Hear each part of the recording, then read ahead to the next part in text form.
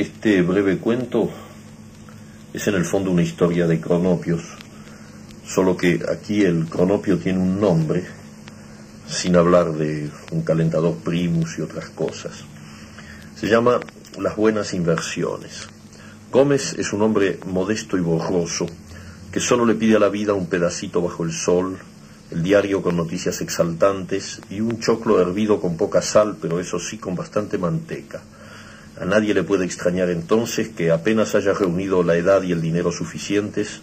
este sujeto se traslade al campo, busque una región de colinas agradables y pueblecitos inocentes, y se compre un metro cuadrado de tierra para estar lo que se dice en su casa. Esto del metro cuadrado puede parecer raro y lo sería en circunstancias ordinarias, es decir, sin Gómez y sin Literio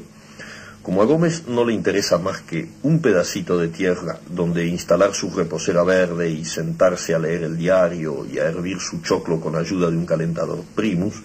sería difícil que alguien le vendiera un metro cuadrado, porque en realidad nadie tiene un metro cuadrado, sino muchísimos metros cuadrados.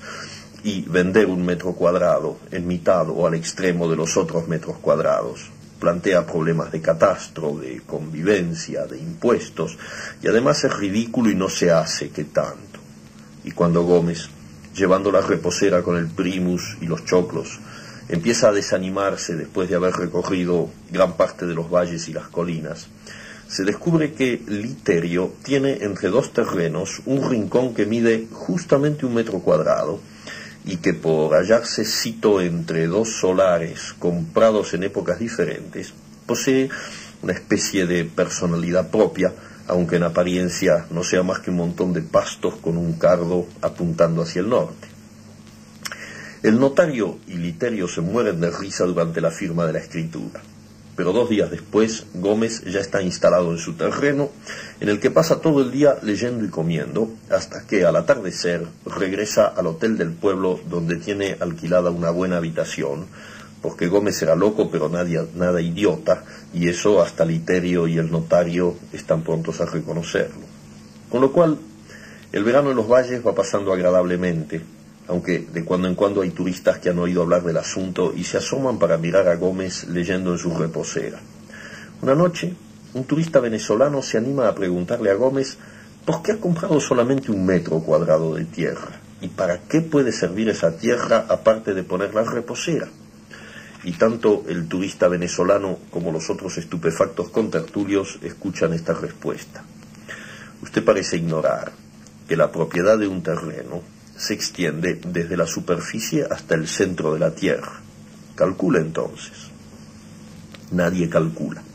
pero todos tienen como la visión de un pozo cuadrado que baja y baja y baja hasta no se sabe dónde. Y de alguna manera eso parece más importante que cuando se tienen tres hectáreas y hay que imaginar un agujero de semejante superficie que baje y baje y baje. Por eso, cuando los ingenieros llegan tres semanas después, todo el mundo se da cuenta de que el venezolano no se ha tragado la píldora y ha sospechado el secreto de Gómez, o sea que en esa zona debe haber petróleo. Literio es el primero en permitir que le arruinen sus campos de alfalfa y girasol con insensatas perforaciones que llenan la atmósfera de malsanos humos. Los demás propietarios perforan noche y día en todas partes, y hasta se da el caso de una pobre señora que entre grandes lágrimas tiene que correr la cama de tres generaciones de honestos labriegos porque los ingenieros han localizado una zona neurálgica en el mismo medio del dormitorio. Gómez observa de lejos las operaciones, sin preocuparse gran cosa, aunque el ruido de las máquinas lo distrae de las noticias del diario. Por supuesto, nadie le ha dicho nada sobre su terreno y él no es hombre curioso y solo contesta cuando le hablan. Por eso contesta que no, cuando el emisario del consorcio petrolero venezolano se confiesa vencido y va a verlo para que le venda el metro cuadrado. El emisario tiene órdenes de comprar a cualquier precio y empieza a mencionar cifras que suben a razón de cinco mil dólares por minuto, con lo cual al cabo de tres horas Gómez pliega la reposera, guarda el primus y el choclo en la valijita y firma un papel que lo convierte en el hombre más rico del país siempre y cuando se encuentre petróleo en su terreno, cosa que ocurre exactamente una semana más tarde bajo la forma de un chorro que deja empapada a la familia de Literio y a todas las gallinas de la zona. Gómez, que está muy sorprendido, se vuelve a la ciudad donde empezó su existencia y se compra un departamento en el piso más alto de un rascacielos, pues ahí hay una terraza a pleno sol para leer el diario y hervir el choclo,